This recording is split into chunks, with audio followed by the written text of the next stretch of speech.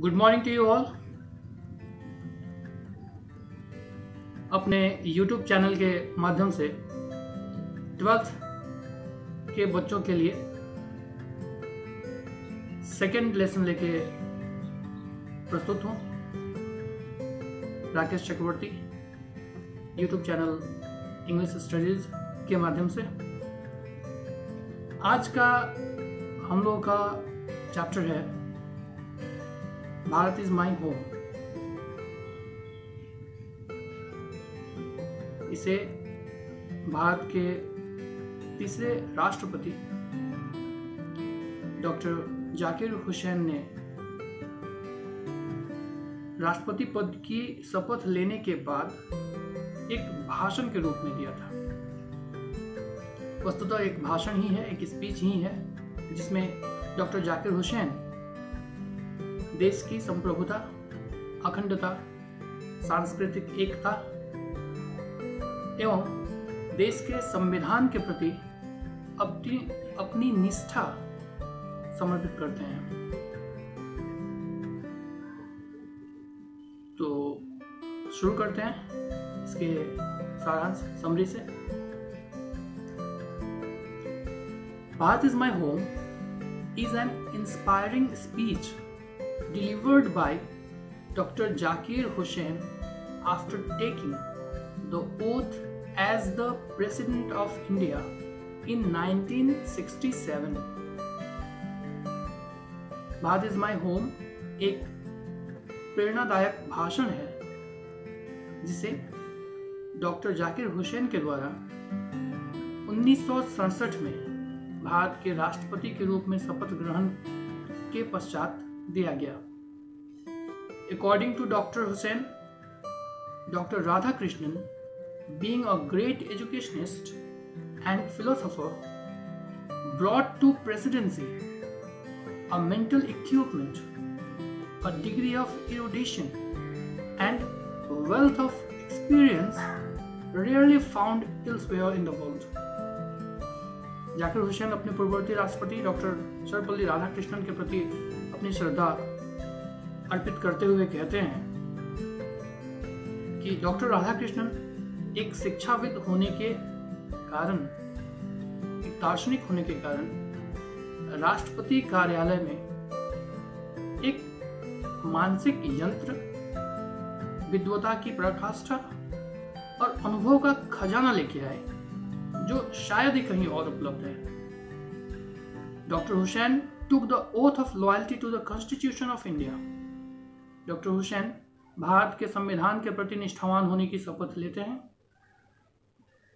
He pledges his loyalty to his countrymen irrespective of their caste, religions and languages.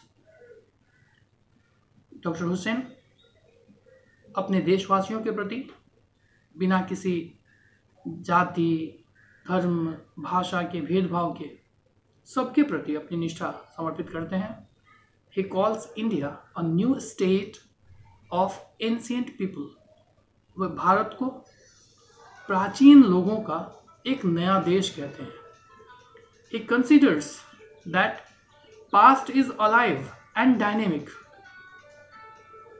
वो मानते हैं कि अतीत ज़िंदा होता है। उसमें गति होती है, वो डायनेमिक होता है।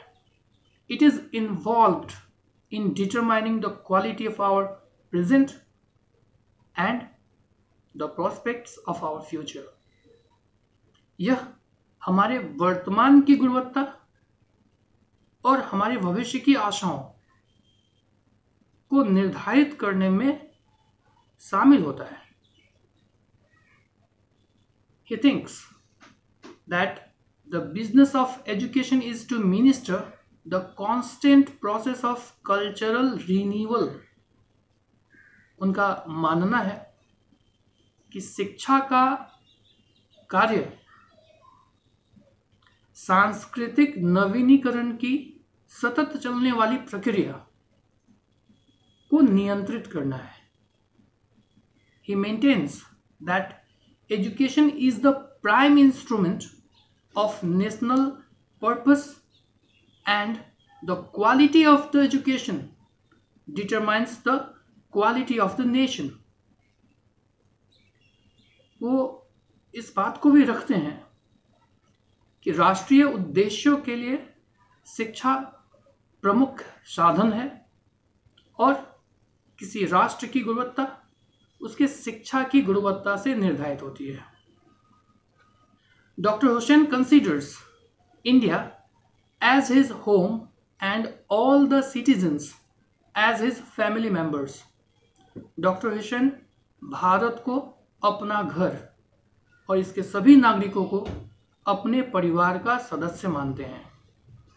As the head of the family he wants to make this house strong and beautiful घर के मुखिया होने के नाते वे इस घर को मज़बूत और खूबसूरत बनाना चाहते हैं।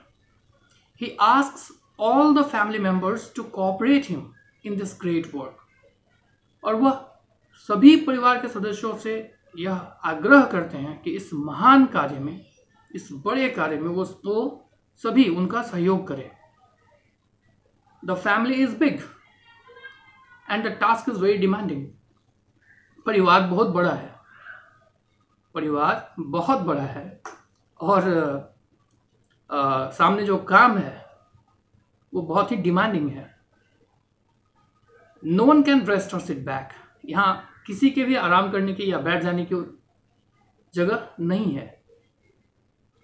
Doctor Hussain feels that this work has two aspects doctor Hussain ऐसा महसूस करते हैं कि ये जो काम है इसके दो पहलू हैं।